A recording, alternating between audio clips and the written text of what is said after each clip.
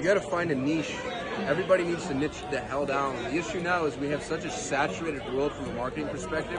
There's no more, you know, oh, I serve entrepreneurs. So go find a very specific industry that's your x-axis, and then find a very specific service, that's your y-axis. And if you look at an x-axis and a y-axis, it creates crosshairs, and that gives you something to aim at. So find a niche that you can serve with an ultra-specific offering, and then go love on them and give as much value and as much content as you possibly can, and you're going to be the world authority in that niche.